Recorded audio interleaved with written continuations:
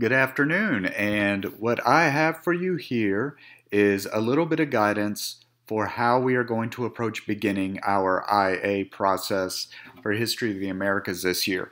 Now, earlier in the year, and, and it's been my, my plan the entire year basically to um, uh, to try my best to get us going on this IA process and to give us uh, an opportunity to get as much of it done. Um, with the way they have redone the calendar now, of course, us losing a week uh, with the extended spring break for us to get ready for virtual learning, um, and now um, with the strictures they put on the end of the year, um, obviously because they want our grades to be really solid by the 8th so you guys can make a decision, uh, your best decision about how you want your uh, grade displayed.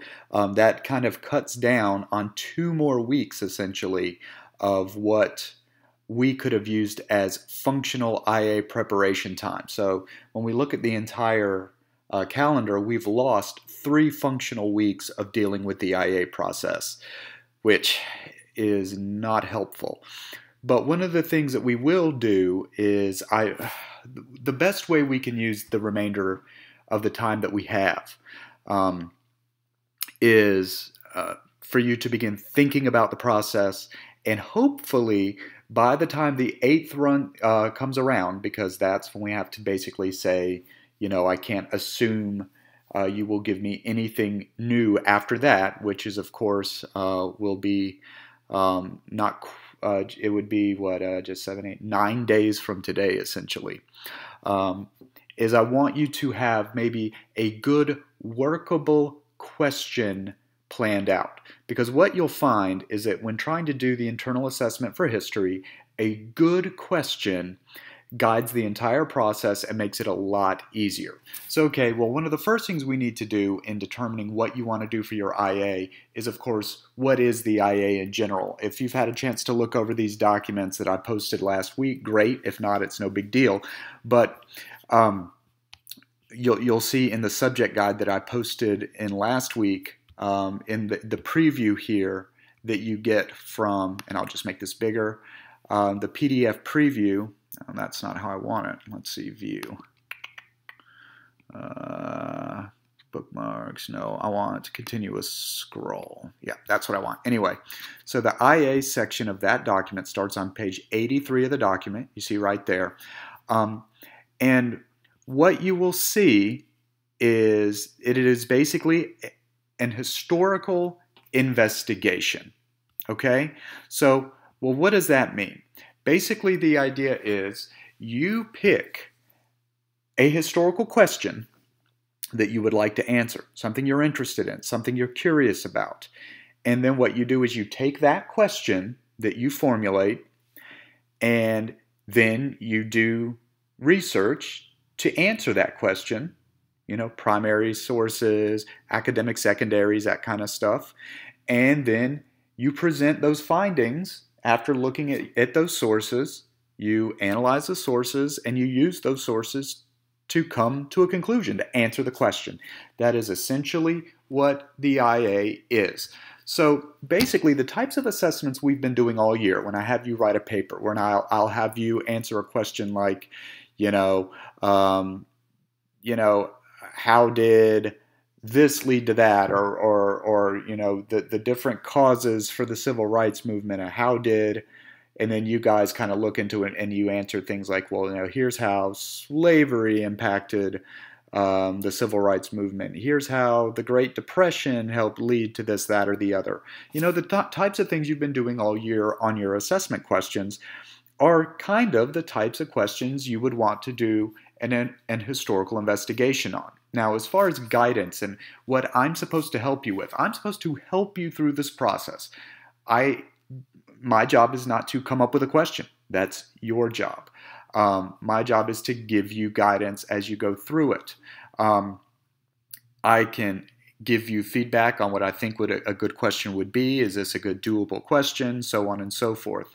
Um, and what you'll do is, is there are three basic parts to the IA the identification and evaluation of sources, Hey, that sounds familiar. It's like our good friend Standard B, you know, where you did OPCVL type stuff. You'll do that. There's the actual investigation, which is the written out. Here's the question. Here's my evidence that I found, my research. Here's the answer to the question. And then there'll be a reflection piece. Uh, so there'll be three overall questions. Um, but like I said, the biggest part of it is what's your question going to be? And I can walk you through the rest of the um, the rest of the process, but what you will find is the total word count. That includes your identification evaluation of sources, your actual investigation, and your reflection are supposed to be no more than 2,200 words total. So this isn't really all that terribly long, okay? And this is giving you some suggested guidance as to how many words to put in each section. Well, if the investigation itself is only supposed to be around 1,300 words, you need a question, okay, that is narrow enough to answer in that number of words, to present your evidence and answer the question. So it needs to be narrow enough where you're not trying to do something massive like, you know, uh, you're not going to try to, you know, disprove or prove like the Kennedy assassination. I mean, you can't do it in, in that word count. Don't do anything like, you know, conspiracy theories or anything like that because it can't be done in the word count. It just can't. So it can't be a huge question. Um, I want to give you a little bit of guidance on what to do with it. Nope, that's not what I want. There's that. Uh, where are the? That's that wasn't the part I wanted to. Okay, um, no, that's not the part I wanted. Okay, so like just just to give you an example of questions, historical investigations. Uh, like, like, what kind of questions are we looking at? What kind of narrow scope are we looking for? Okay, here's a good example. How systematic were the deportations of the Jewish population of Dusseldorf to Minsk between 1941 and 42? It is a narrow question, it's specific, and um, it can be done in that word count. But notice, these questions are not yes no questions. They're not what you would call obvious answers. Like here's another one. How significant were economic problems as a cause of the Bamberg witch trials?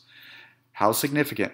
Evaluate that kind of stuff because it's, it's an arguable question, right? What were the most important reasons for the failure of Operation Market Garden? It's not just um, what are the reasons, you know, and let me list them out. That's a report. This is answering a question I have a question about this. Hmm, the more I look at this topic, wow, that's interesting. I wonder how this happened. I wonder how this one thing impacted this part over here.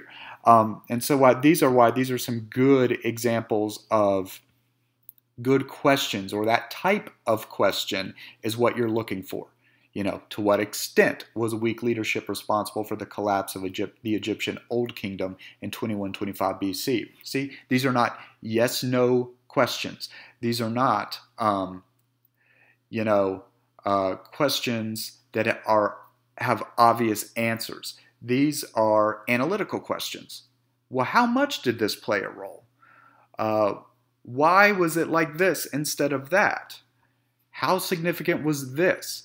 Um, and so if you're sitting there going, well, okay, that's great. What are the other restrictions? Because I've got all kinds of things I'm interested in. Well, the great thing about the IA is you are allowed to choose whatever question you want as long as it is somehow related to history. That means it doesn't even have to be related to history of the Americas. It can have it can be about anything in all of human history. So this should be good. So if you're, I would suggest creating a question based on the history of a topic of something that you're already interested in. If you're really interested in music, find a way to make your question about music or this piece or this person and the impact they had on something. If it's engineering and you're fascinated about engineering, cool find a question, create a question dealing with some aspect of engineering, um, some project that was done, some uh, advancement that was made and how it impacted something later on. Um, a, a, certain engineer and their techniques and how it impacted something later. Uh, fashion, I don't care. I mean, you could come up with anything. Um, that's a blessing and a curse. Sometimes people then are saying, well, where do I even start? I say start with what you're already interested in and help narrow down a question.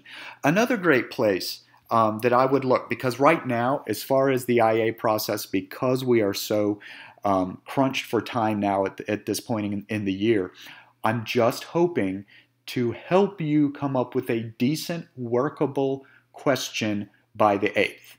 All right, that's really what I'm at this point. All we can really hope to do with our remaining time is to give you that time for you to just look through stuff, ask yourself questions about, hmm, why do I, you know, how can I do come up with this question? And I'll have some specific things that you can walk through over the next week or, or nine days or so to help get you to that process.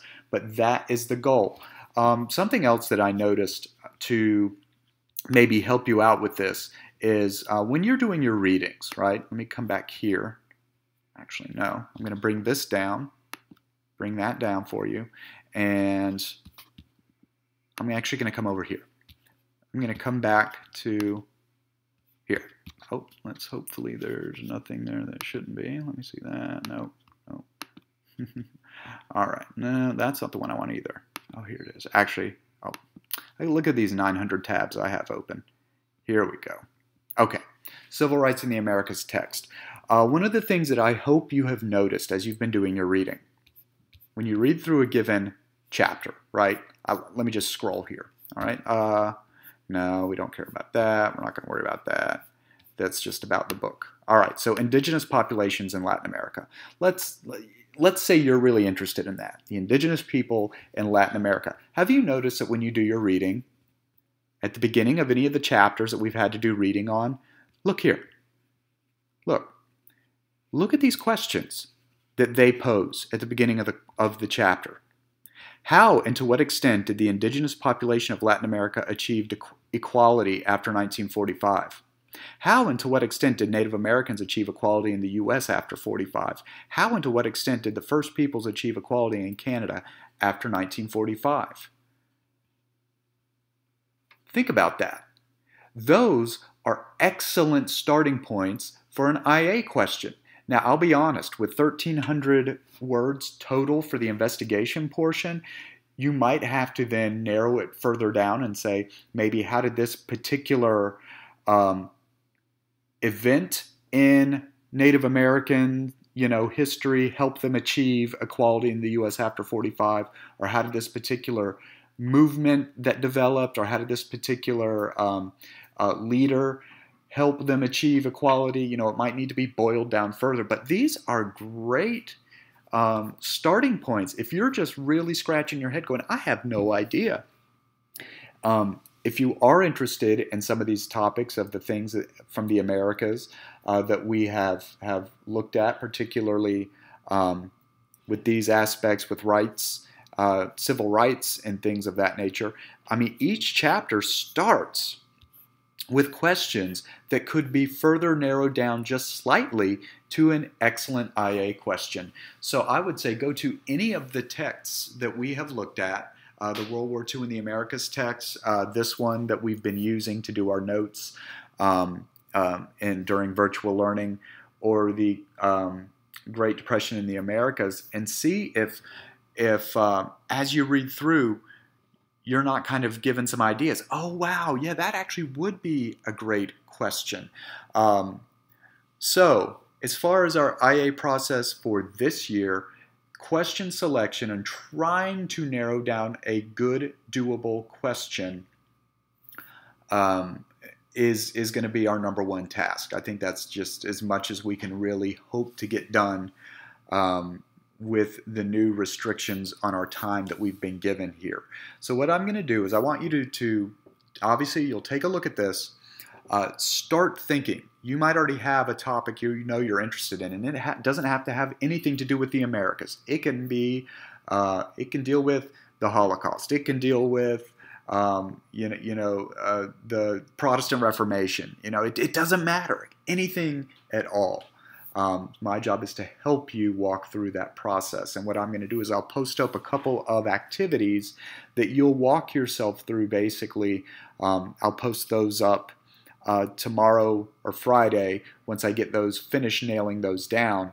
And um, and that's what you'll walk through as the last thing that you'll give me this year to set yourself up to be in a good position so that as soon as we come back senior year, whether you have me or Ms. Fellini or however they split classes next year, uh, you will be ready to rock and roll and get this process done as soon as possible so that your senior year can uh, you can get that kind of off your shoulders as soon as you can uh, at the beginning of senior year.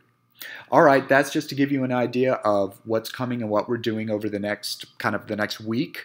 And uh, so so start thinking. I'll have those those those tasks associated with it posted up for you um, tomorrow and Friday. And uh, keep an eye open. Start thinking.